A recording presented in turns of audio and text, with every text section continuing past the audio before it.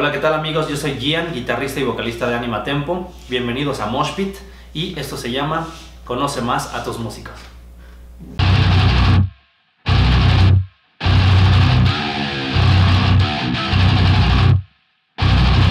Bueno, Anima Tempo es un proyecto de eh, metal progresivo que a lo largo del tiempo se fue como transformando, fue tomando diferentes, como diferentes direcciones se fue hacia la parte sinfónica, hacia la parte electrónica, pero nunca dejó la base del, metal progresivo, incluso también ya, incluso se, adornó ya ahora con elementos de death metal. Y es una banda que tiene ya alrededor de 7 años, de hecho este mes se cumplen 7 años de Anima Tempo, y es una banda que ha tenido la oportunidad de, de hacer eh, pues ya un tour, un tour eh, o varios tours por así decirlo, eh, con el primer disco el primero fue un tour nacional, luego fue un tour en Europa, luego fue un tour en Japón y regresamos a cerrar con un tour en Europa. Eh, es una banda conformada por cinco integrantes. Es Dante Granados, que se compone, es Pavel Vanegas, que es el bajista, es Antonio Guerrero, baterista, Daniel González, que es el guitarrista, tercer guitarrista y guturales, y yo, Gian, eh, guitarra, voces limpias y quien compone las letras. Em, ¿Qué más te puedo decir de Anima Tempo?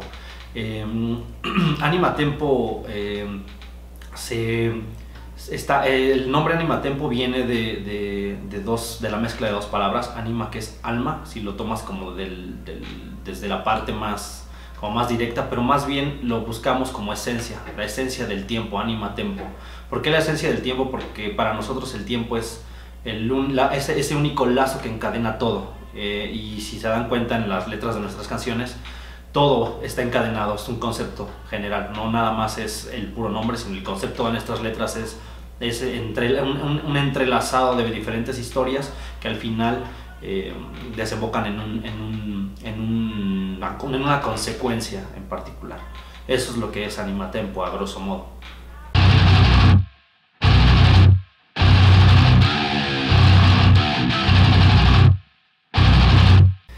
El sonido de la banda es muy particular.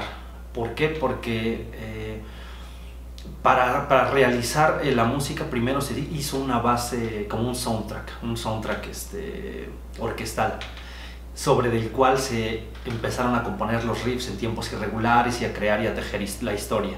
¿Por qué lo hicimos así? Porque eh, para nosotros quisimos hacer como una película sonora, ¿me explico? Una película sonora, algo un soundtrack, el soundtrack de una vida.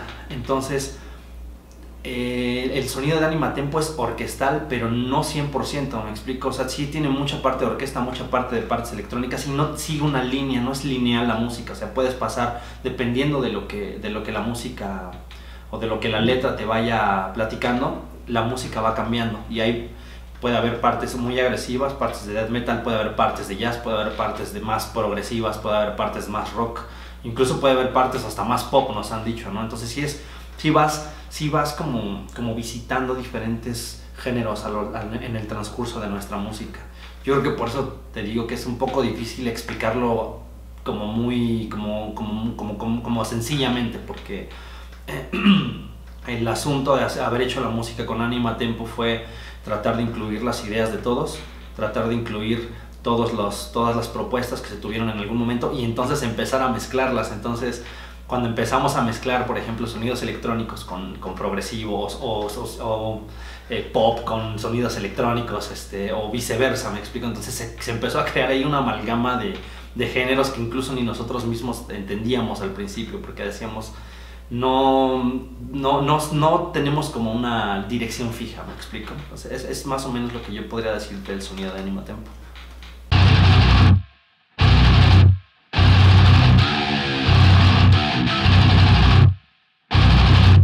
Tengo una, para empezar desde el, desde el gear, desde el principio, eh, utilizo eh, plumillas eh, Dunlop, Teardrop Small. A mí me funcionan mucho porque no me estorban tanto a la hora de tocar, pero aparte las utilizo de casi un milímetro porque me da la suficiente firmeza para poder hacer chops o, notas mucho más este, cliqueadas, me explico, hacer pam, pam, pam. la guitarra es una overload guitar, italiana, es una Raging, es custom shop, que esta fue diseñada para, para mí específicamente con las especificaciones que yo busqué. Es un patrocinio que se consiguió en el Tour de Europa. Esa guitarra tiene la peculiaridad de tener un split, de poder eh, tener la, la, flexibilidad de poder hacer notas muy, muy, este, muy fuertes o al activar el split hacerlas que se, que se hagan más, más este, como más tenues pero sin perder esa potencia. Eh, después, generalmente eh, para tour nosotros dejamos de utilizar los pedales. ¿Por qué? Porque a la hora de estarnos moviendo eh, de un país a otro era muy difícil estar este, transportando todo ese tipo de cosas. Entonces yo me confié totalmente a un Fractal AXFX, que es con lo que lo estamos haciendo, lo estamos utilizando como un preamp. De ese preamp sale una línea hacia consola, una línea directa, y la otra va hacia un amplificador. Mis amplificadores de, de mis amplificadores preferidos pues son Orange Rockverbs o son PV 5150. Y de gabinetes yo ocupo Jesu, una marca polaca que también es un patrocinio que tiene la banda.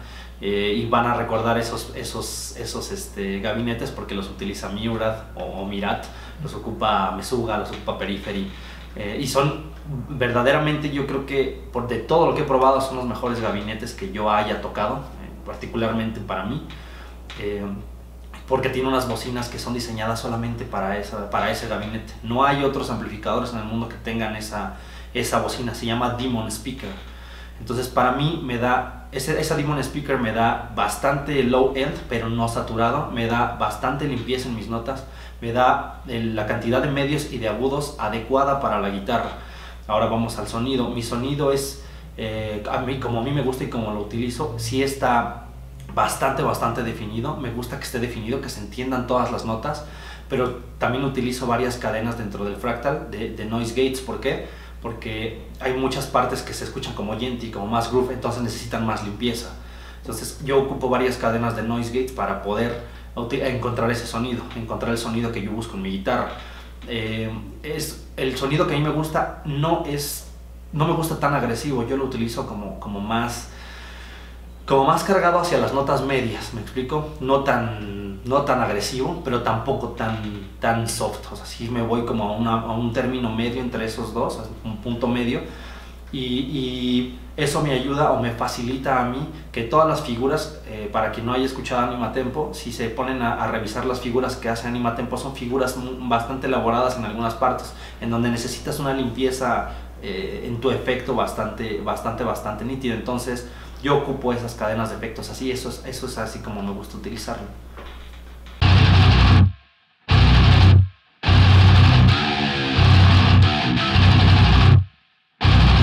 yo creo que hay más discos que me han influenciado, pero de los que considero que ahorita me vienen a la cabeza y que yo sigo ocupando como, como influencia, sería uno el Dark Side of the Moon de Pink Floyd, que yo lo sigo escuchando y le sigo encontrando muchas cosas. Otro es el Construction of Light de King Crimson. Ese disco a mí me dejó muchas cosas también porque la manera en cómo, en cómo ellos van desenvolviendo cada instrumento y cómo se van acompañando entre sus polirritmias y todo eso, eso para mí es es increíble. yo le sigo encontrando igual muchas cosas. Ya más actuales, eh, uno, otro de los discos que me han influenciado muchísimo es el, el Odyssey de, de, Symphony X. Me encanta la manera en la que se crea el concepto de la Odisea y cómo lo va platicando en, en, cada canción. Y, y, me gusta mucho cómo manejan también eh, los matices entre qué se va diciendo de cada, de cada canción, qué historia va platicando y cómo van haciendo la música. Esos tres discos son, son increíbles. Me gusta también, eh, debo decir también que, que, también un disco mexicano, eh, el primer disco de Ágora me gusta muchísimo. Cuando yo era niño y yo escuchaba Dream Theater y escuchaba Symphony X y, y escuchaba eh, infinidad de bandas, yo llegué a escuchar a Ágora y yo dije, wow, sí se puede hacer eso en México. Entonces ese primer disco me gustó muchísimo porque eh, fue como la entrada o como la muestra de que México podía dar grandes cosas al, mundo del metal progresivo y la prueba son ellos. Y un disco más, que otro disco me podría haber gustado mucho? Fíjate que, que el eh, American Breakfast de Supertramp también me gusta muchísimo. Es un disco que también me deja mucho por la manera en cómo utilizan las voces, cómo trabajan la, la parte vocal, no de la manera más tradicional, sino sí lo utilizan como un acompañamiento de, de, hacer varias cosas, utilizarla como un instrumento. Yo creo que esos cinco discos que, que ahorita estoy mencionando son como, como lo que te podría decir que me ha influenciado mucho a mí como, como músico.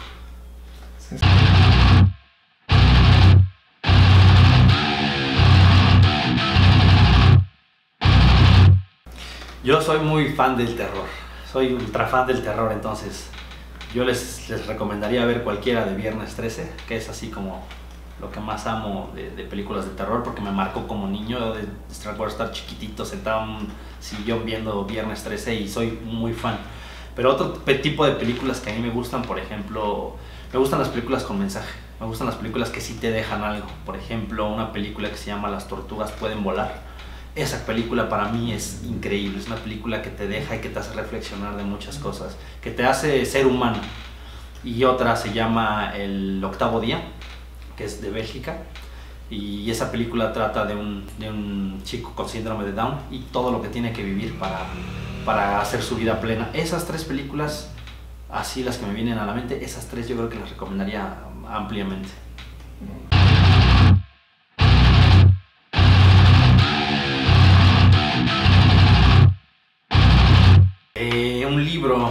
Mira, les recomiendo que lean un libro que se llama El mundo y sus demonios de Carl Sagan. Ese libro me gustó mucho, está interesante porque es bastante sarcástico, pero sí te hace pensar eh, varias cosillas ahí de entre religión, de entre ciencia, de entre cositas así. Ese libro me encanta.